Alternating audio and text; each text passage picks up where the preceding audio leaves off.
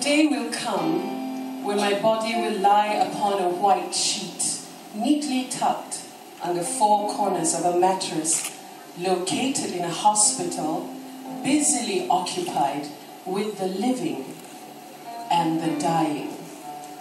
At a certain moment, a doctor will determine that my brain has ceased to function and that, for all intent and purposes, my life has stopped.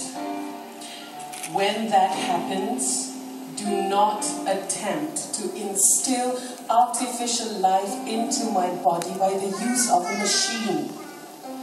And don't call this my deathbed.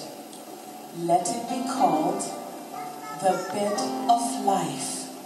And let my body be taken from it to help others lead fuller lives. Give my sight to the man who has never seen a sunrise, a baby's face, or love in the eyes of a woman. Give my heart to a person whose own heart has cost nothing but endless days of pain. Give my kidneys to one who depends on a machine to exist from week to week.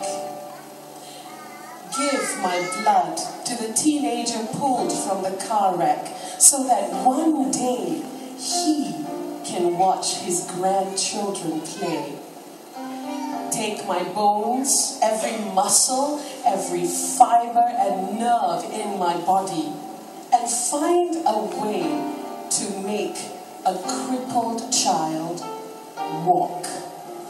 Explore every corner of my brain. Take my cells, if necessary, and let them grow so that someday a speechless boy will shout at the crack of a bat, and a deaf girl will hear the sound of rain against her window.